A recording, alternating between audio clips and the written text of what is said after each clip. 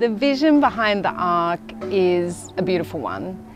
We have this amazing, wild, open campus, but every community, every family needs to be held in a space and we need a space that we can come together as a whole community in.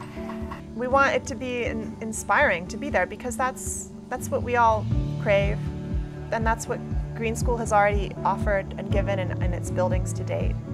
And those buildings are what inspired us to do what we do. But overall, the concept for the gym, the structure that we're designing, came from Jörg Stamm, who was closely involved in some of the early buildings at Green School, including the bridge. And he came up with the concept to create these big arches that can span over the space that we need and create the volume that we need.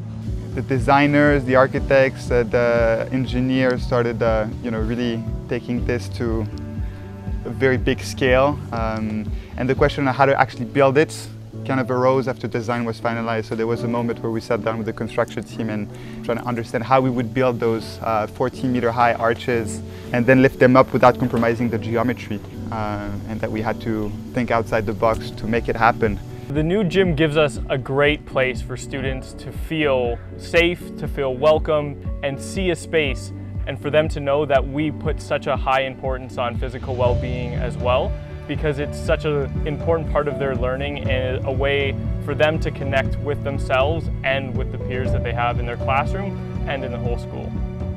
Di ARC ini uh, selain bangunannya e, yang eco-friendly dan menginspirasi, lantainya terbuat dari bahan daur ulang karet yang ramah lingkungan sehingga sangat aman untuk uh, anak-anak uh, berlari dan meminimalis cedera.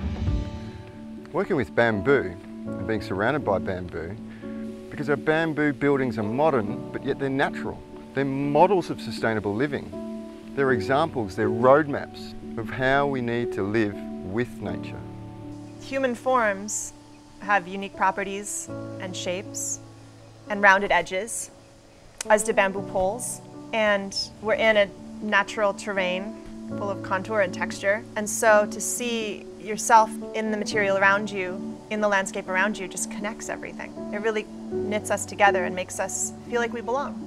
It is a place for physical well-being, but it is also a place of beauty and it can inspire us and uplift us individually and even better as a collective community.